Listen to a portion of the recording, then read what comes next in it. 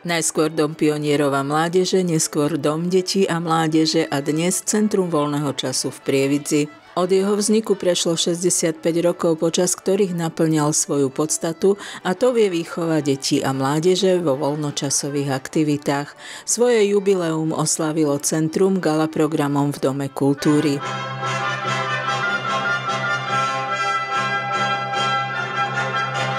Počas 65 rokov sa vzdelávalo v centre niekoľko desiatok tisícok detí a mladých ľudí v rôznych zaujímavých útvaroch.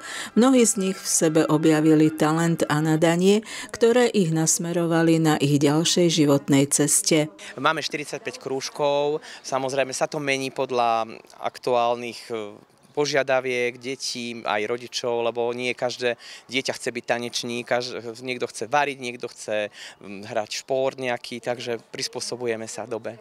Svoje zručnosti, vedomosti popoludnia venovali a venujú práci s deťmi a mládežou učitelia a zamestnanci centra. Tí súčasní si pre publikum pripravili malé prekvapenie, slávnostný nástup na javisko.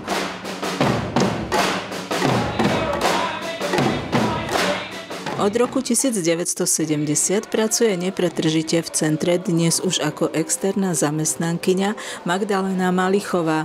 Teta Magda vedie dlhé roky fotoklub Junior a ako sama hovorí, nástupom do vtedajšieho domu pionierov sa jej splnilo životné želanie pracovať s deťmi v mimoškolskej činnosti. Čo vám dávajú tie deti?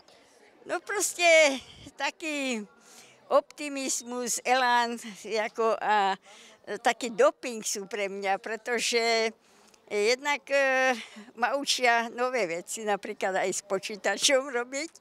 No ale v podstate tým, že sa zúčastníme súťaži a tak, a je to, hovorím, je to taký, taký doping pre človeka, ktorý chce robiť. Niekdajší prievický dom pionierov a mládeže bol svojho času jedným z najaktívnejších v rámci vtedajšieho bansko kraja. Toto pretrvalo a aj dnes je Centrum voľného času v Prievidzi podľa slov jeho riaditeľa zaradené medzi top centrami na Slovensku. Či už sú to mladí folkloristi, mažoretky, fotografi, tanečníci, športovci, modelári, výtvarníci, všetci robia dobré meno svojmu mestu doma i vo svete. Je to aj vďaka dobrej podpore zo strany samozprávy. Centrum voľného času je veľmi dôležité, pre, hlavne pre našu mládež, pre jej výchovu a ja osobne by som chcel aj poďakovať pedagógom a všetkým zamestnancom Centra voľného času v mene mesta Prievidza za to všetko, čo pre naše prievické deti robia.